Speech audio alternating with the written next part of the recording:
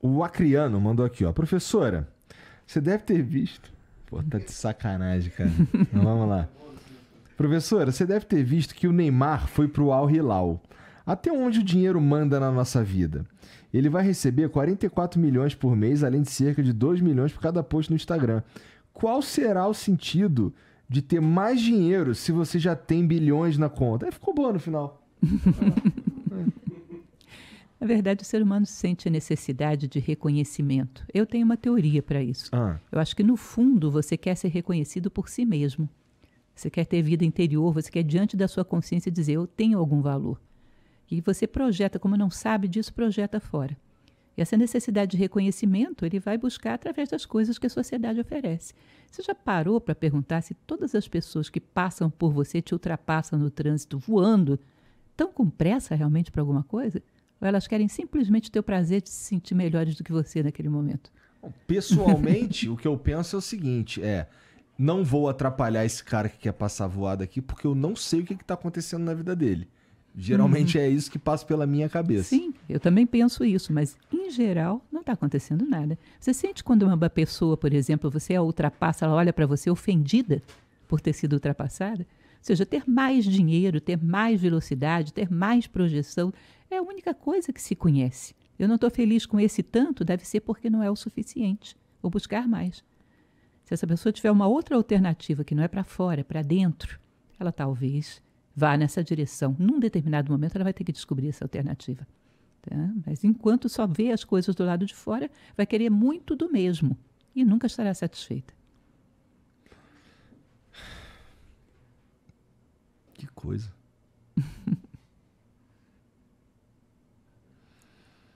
o Andrade Natal mandou aqui, ó, professora.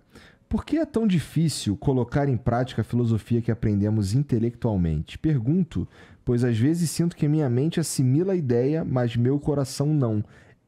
Talvez seja isso que você está falando desde o começo, né? tá adicionando conhecimento, né? Uhum. Não está se formando. É, não assimilou esse conhecimento. Existe uma coisa que eu sempre brinco com os meus alunos, que eu costumo dizer que é o caixa 2 mental. Você sabe o que é o caixa 2 mental? O que, que é? Platão ele costuma dizer que o homem deve procurar viver em harmonia com a sociedade. Aí eu vou no trânsito. Eu acredito nisso que Platão diz. Eu vou no trânsito. Mas aí existe um caixa 2 mental que diz: Platão, no tempo dele, não tinha trânsito. Ele não sabe nada de trânsito. Isso não vale para essa circunstância aqui, tem que ser do meu jeito. Aí você pega o caixa 2, que é sair buzinando, sair cortando todo mundo, deixando todo mundo mal-humorado. Aqui tem que ser do meu jeito. Platão não sabe nada de engarrafamento. E depois de você se estressar, estressar todo mundo, fazer aquela bagunça toda na vida de todo mundo, você para e pensa, do jeito do Platão teria dado mais certo.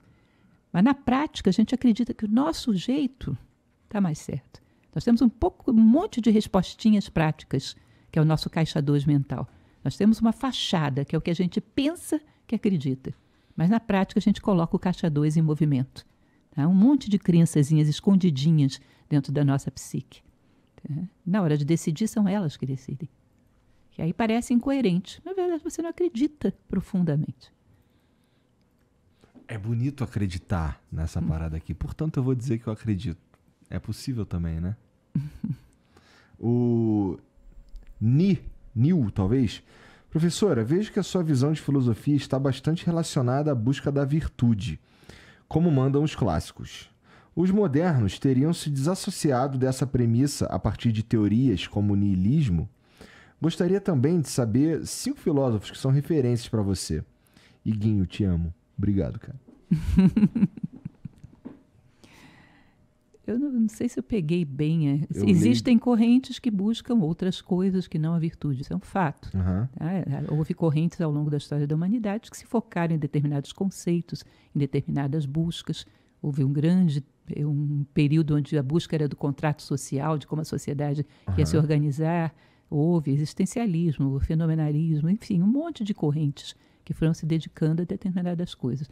Mas acho que a questão da virtude é uma questão que deveria ser mais profunda e estar em todas as linhas. Porque, no fundo, qualquer disciplina humana pretende a evolução humana.